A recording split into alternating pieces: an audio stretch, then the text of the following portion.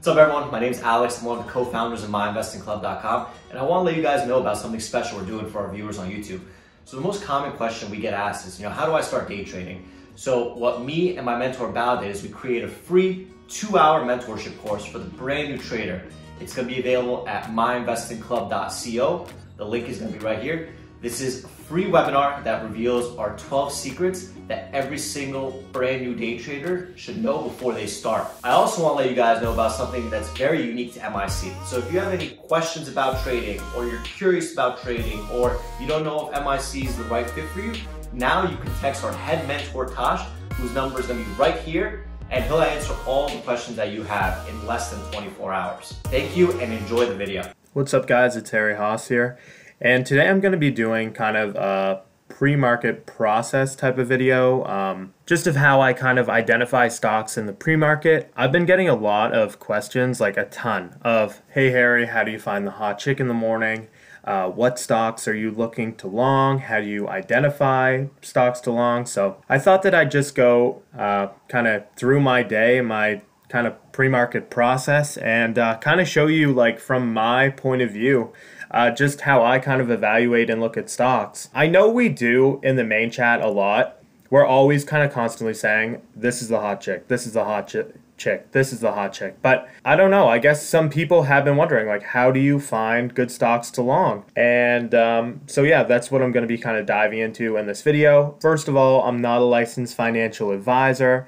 Um, this isn't financial advice, even if it seems like it. But without further ado, let's get into the video. All right, so again, I said it's one of the, the most popular questions I get asked you know, each morning, every single morning, I have people DMing me, what's the hot chick, bro? What's the hot chick? What are you looking along? What's the hot chick? And so, yeah, I just posted some of the questions like, you know, how do you find characteristics of a strong stock to go long on? I'm a long, you know, I've turned to the short side, low hangers, because every time I try and long these things, they bounce and drop on me. I went to get long, I was looking for some clues. It would be cool if you could kind of point me in the direction of kind of a strong long. And then these other people are like, you know, how do you identify the hot chick? How do you find find it because I find that we do always mention like, oh, it's a hot chick, it's a hot chick. But I guess maybe there there has been some type of gap, I guess, because I do get these questions quite frequently. So of course now I'm going to make a video on it so I can direct them to this video. Okay, so good indications of a long early early. It's usually one of the top percent gainers. It's usually in some type of uptrend.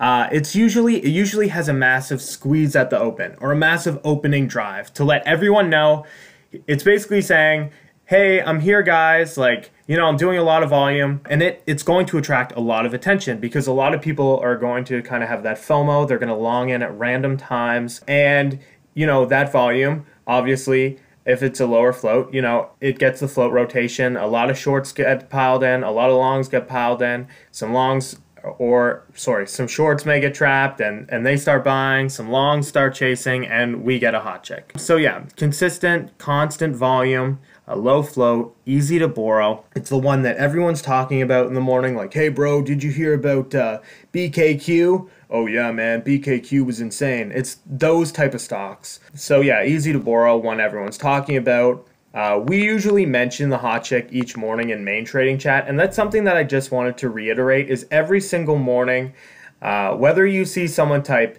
uh, at get whatever or whether Alex, Tosh, one of the mods says, you know, we're looking to avoid this one. This is one I don't want to be playing with on the short side. Usually as a long trader, you can say to yourself, okay, yeah, okay, uh, uh, that's probably going to be the hot chick of the day. Yeah, again, probably the stock with the highest amount of volume in the morning. Uh, look at the tape also. You can use this as an indication. Maybe you're not necessarily a pro tape reader. No one really is. It's kind of a, a farce. I've also made a video on that as well.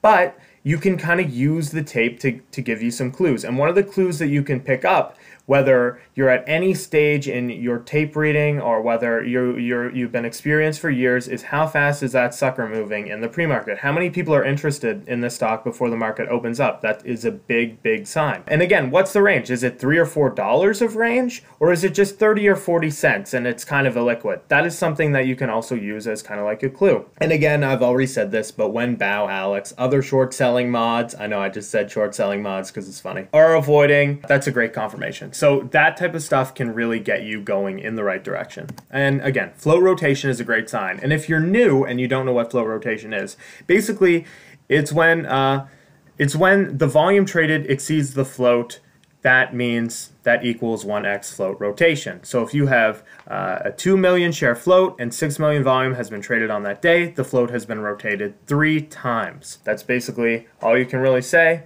Uh, you can take notes on this one. I mean, if you the easiest definition is if you have a one mil float and you get one mil volume, there you go. That's one rotation. Pretty simple. I'm pretty sure Joe has some videos on this one as well. Uh, did a float rotation video for sure. So we definitely have you covered in the float rotation department. And also, if you want another major boost on your pre-market longing process, you can check out this video as well that I've done, stocks that you should avoid because I'm going to be referencing this video quite frequently. So if you want to kind of watch this video after I'm done, you know, you can go ahead and long that one, or not long that one, you can go ahead and watch that one as well. And uh, yeah, I am kind of showing my own video here, but it is kind of important to know and uh, to kind of to kind of say to yourself, okay, if these are the strong stocks, I also should probably know what to avoid because that is half the battle as well. So examples, I'm basically going to go over some example days so you can kind of understand and you can identify stocks I'll be potentially trading in the pre-market. There are going to be some stocks that do spike up after the open that do turn into the hot chick and that's also important because when you have people like Bao saying, okay, this stock is in a void, it just popped up, it's not a pump and dump, like this stock is actual news, there's people kind of in it, there's people, uh, you know, everyone's buying it. It is the new hot chick. It's taken over. That is when you can kind of say to yourself, okay, uh, this is one that I'm going to kind of look at, draw my lines. I have tons of videos on stocks like that, so you can also check that one out as well. And if you think the stock is not strong, let the stock prove to you that it is. And uh, the best way to do that is at the open when you get that kind of strong opening drive or you're seeing a lot of volume pour in and you're seeing that there's higher lows and you're seeing that the stock is kind of continuing in the uptrend direction, that is when you can kind of identify a stronger stock.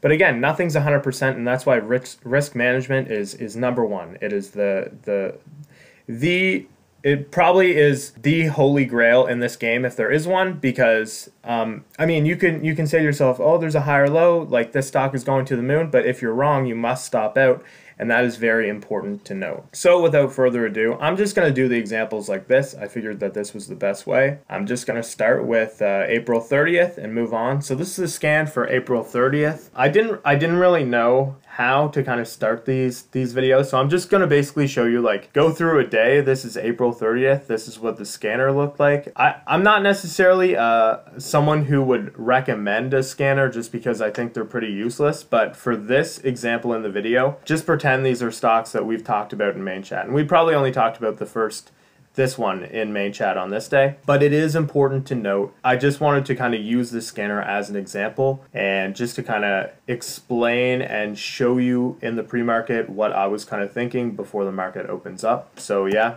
basically this is the first stock on the scanner and you can see that it's a little bit of liquid, not something that I would touch, obviously, not a lot of volume. Um, obviously, there was some type of uh, earnings or call on the day. And yeah, so basically not gonna not gonna touch this one. Pretty liquid in the morning. Uh, as you can see, it's a downtrend. Um, you can see that the float is 235 mil, so I'm probably not going to be looking to touch that as well. But that is just something that is just a complete avoid for me. Uh, you can notice there's there's not a lot of range. It's pretty illiquid. Um, so I mean, yeah, I'm gonna look at this stock and say, you know what?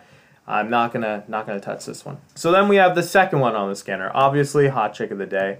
But what we can note about this one is um, this stock right here. Uh, it is, I guess, for some background, it is a day two play. But what we can notice is that this stock was in a void all the way down for me.